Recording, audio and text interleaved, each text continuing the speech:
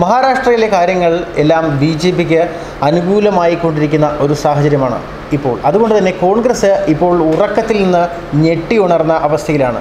എങ്ങനെയും N C പിയെ കൂടെ നിർത്തണം.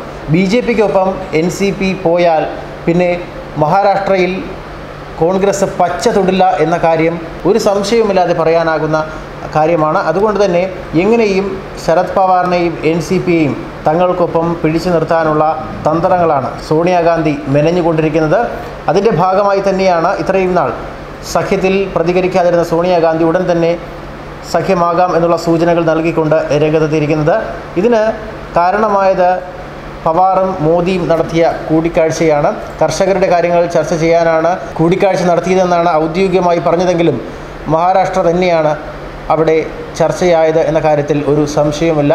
ഇതിന്റെ അടിസ്ഥാനത്തിൽ ശരത് പവാറിന് അടുത്ത രാഷ്ട്രപതി പദവി വാഗ്ദാനം ചെയ്തു എന്നുള്ള സൂചനകളും ഇപ്പോൾ പുറത്തു വരുന്നുണ്ട്. അതുകൊണ്ട് തന്നെ കാര്യങ്ങൾ കൃത്യമായി നീക്കണം എന്നുള്ള ഒരു നിലപാടിൽ തന്നെയാണ് കോൺഗ്രസ്. എങ്ങനെയും ഈ സഖ്യം പൊളിയാതെ സംരക്ഷിക്കേണ്ടത് ഇപ്പോൾ കോൺഗ്രസിന് അത്യന്താപേക്ഷിതമായ കാര്യമായി മാറിക്കൊണ്ടിരിക്കുകയാണ്. തീവ്ര ഹിന്ദുത്വ നിലപാടാണ് ശിവസേന സ്വീകരിക്കുന്നതെങ്കിൽ പോലും അവരെ മയപ്പെടുത്തി ഒപ്പം കൂട്ടാനുള്ള തത്രപ്പാടുകൾ എൻ സി പിയേക്കാൾ ഇപ്പോൾ കൂടുതൽ കോൺഗ്രസിനാണ് എന്ന് പറയേണ്ടി വരും. കാരണം സോണിയാഗാന്ധിയുടെ ഇപ്പോഴത്തെ ഇടപെടൽ തന്നെയാണ് ഈ ഒരു വിഷയത്തിൽ കൂടുതൽ കോൺഗ്രസ് ശ്രദ്ധ ചെലുത്തുന്നു എന്നുള്ളതിന് ഉദാഹരണമായി ചൂണ്ടിക്കാട്ടപ്പെടുന്നത്. എൻ സി പി നേതാവ് ശരത് പവാർ ബുധനാഴ്ച പ്രധാനമന്ത്രി നരേന്ദ്രമോദിയുമായി കൂടിക്കാഴ്ച നടത്തിയ ശേഷമാണ് കോൺഗ്രസ് മഹാരാഷ്ട്രയിൽ ഉണർന്നത് എന്ന് തന്നെയാണ് ഇപ്പോൾ പുറത്തുവരുന്ന റിപ്പോർട്ടുകൾ സൂചിപ്പിക്കുന്നത്. N C P B J പിക്കൊപ്പം ചേർന്നാൽ പിന്നെ കോൺഗ്രസ് അവിടെ പച്ച തൊടില്ല അതുകൊണ്ട് തന്നെയാണ് എന്തെങ്കിലും വാഗ്ദാനങ്ങൾ നൽകിയെങ്കിലും എൻ സി പിയെ വശത്താക്കാനുള്ള നീക്കങ്ങൾ അണിയറയിൽ നടക്കുന്നത്. എന്തായാലും ബി ജെ പി രാഷ്ട്രപതി പദമാണ് ഇപ്പോൾ ശരത് പവാറിന് നൽകിയിരിക്കുന്നത് എന്നാണ് വിവരം. അതുകൊണ്ട് തന്നെ ശരത് പവാറും എൻ സി പിയും ബി ജെ പിയിലോട്ട് ചായാതെ പിടിച്ചു നിർത്തേണ്ടത് ഇപ്പോൾ കോൺഗ്രസിന്റെ ആവശ്യ ഘടകമായി മാറിക്കൊണ്ടിരിക്കുകയാണ്. അതേസമയം തന്നെ കോൺഗ്രസ് എൻ ചർച്ച ഒരു തീരുമാനവുമാകാതെ പിരിയുകയാണുണ്ടായത്. ചില കാര്യങ്ങളിൽ കൂടി വ്യക്തത വരാനുണ്ട് എന്നും വ്യാഴാഴ്ച ചർച്ച തുടരും എന്നും കോൺഗ്രസ് നേതാവ് പൃഥ്വിരാജ് ചൗഹാൻ അറിയിക്കുകയായിരുന്നു. സംസ്ഥാനത്ത് സുസ്ഥിരമായ സർക്കാർ ഉടൻ അധികാരത്തിൽ വരും എന്നാണ് കോൺഗ്രസ് എൻ നേതാക്കൾ പറഞ്ഞത്. മുഖ്യമന്ത്രി പദം ശിവസേനയും എൻ സി പിയും പങ്കിടും എന്ന ഒരു ഫോർമുലയാണ് ചർച്ചയിൽ ഉരുത്തിരിഞ്ഞു വന്നത് എന്നാണ് പുറത്തുവരുന്ന വിവരങ്ങൾ. ആദ്യ ഊഴത്തിൽ ശിവസേന അധ്യക്ഷൻ ഉദ്ധവ് താക്കറെ മുഖ്യമന്ത്രിയാകുമെന്നും ധാരണപ്രകാരം രണ്ട് ഉപമുഖ്യമന്ത്രിമാരിൽ ഒരാൾ കോൺഗ്രസിന്റേതാകും എന്നുള്ള വിവരങ്ങൾ പുറത്തു വരുന്നുണ്ട്. വിരുദ്ധ ധ്രുവങ്ങളിലായിരുന്ന മൂന്ന് രാഷ്ട്രീയ കക്ഷികളും തമ്മിലുള്ള ഏകോപനത്തിന് ഒരു സമിതിയും രൂപീകരിക്കുമെന്നും ഇപ്പോൾ വിവരങ്ങളുണ്ട്. ധാരണയുടെ ഭാഗമായി ഹിന്ദുത്വ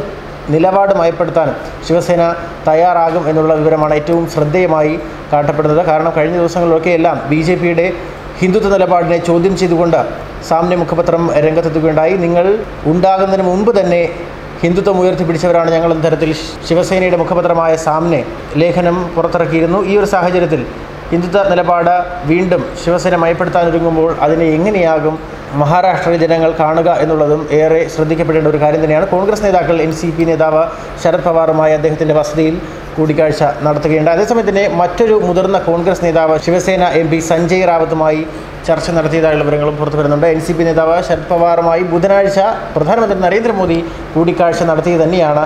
സർക്കാർ രൂപീകരണം സംബന്ധിച്ച ചർച്ചകൾക്ക് കോൺഗ്രസ് മുൻകൈയെടുക്കുന്നതിനുള്ള ഏറ്റവും പ്രധാന കാരണമായി ഉയർത്തിക്കാട്ടപ്പെടുന്നത് കൂടിക്കാഴ്ചയിൽ. അടുത്ത തവണ പവാറിന് രാഷ്ട്രപതി പദം മോദി വാഗ്ദാനം ചെയ്തതായുള്ള റിപ്പോർട്ടുകളാണ് പുറത്തു വന്നത്. രാജ്യസഭയിൽ കഴിഞ്ഞ ദിവസം മോദി എൻ സി പിയെ അഭിനന്ദിച്ചതും അദ്ദേഹത്തെ ഒപ്പം നിർത്താനുള്ള ശ്രമത്തിന്റെ ഭാഗമായിയാണ് എന്നുള്ള വിലയിരുത്തലുകളും വരുന്നുണ്ട്. അത് ബി ജെ പിയുടെ തന്ത്രപരമായ ഒരു നീക്കമാണ്. അതിനെ എങ്ങനെയാണ് ഇനി എൻ സി പി കാണുക എന്നുള്ളത് നോക്കിയിരുന്ന് മനസ്സിലാക്കേണ്ട ഒരു കാര്യം തന്നെയാണ്. ശിവസേനയുമായി സഖ്യത്തിന് ആദ്യം വിമുഖത കാട്ടിയിരുന്ന സോണിയാഗാന്ധി പിന്നീട് പച്ചക്കൊടി കാട്ടിയതും ഈ നരേന്ദ്രമോദി പവാർ കൂടിക്കാഴ്ചയ്ക്ക് ശേഷമാണ് ബുധനാഴ്ച സോണിയാഗാന്ധിയുമായി കൂടിക്കാഴ്ച നടത്തിയ മുസ്ലിം ലീഗ് നേതാക്കൾ പക്ഷേ ശിവസേനയുമായുള്ള സഖ്യത്തിൽ എതിർപ്പറിയിച്ചതായാണ് വിവരം. അപ്പോൾ അവിടെ ഇനി ഈ ഒരു വിഷയത്തിൽ എന്താകും തീരുമാനം എന്നുള്ളതും അറിയേണ്ടതുണ്ട്. മുസ്ലിം ലീഗിനെ ഒപ്പം നിർത്തണോ? ശിവസേനയെ ഒപ്പം നിർത്തണോ എന്നുള്ള കാര്യവും അല്ലെങ്കിൽ ഇരുവരെയും ഒരുമിച്ച് കൊണ്ടുപോകണോ എന്നുള്ള കാര്യങ്ങളൊക്കെ ഇനി ചർച്ച വരേണ്ടതുണ്ട്. ന്യൂസ് ഡെസ്ക് മലയാളി വാർത്ത.